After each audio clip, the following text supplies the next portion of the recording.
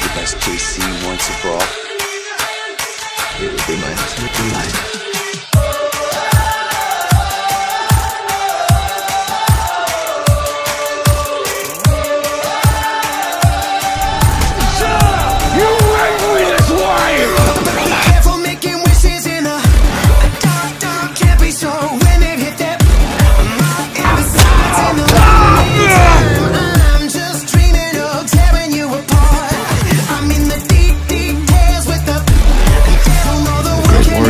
finish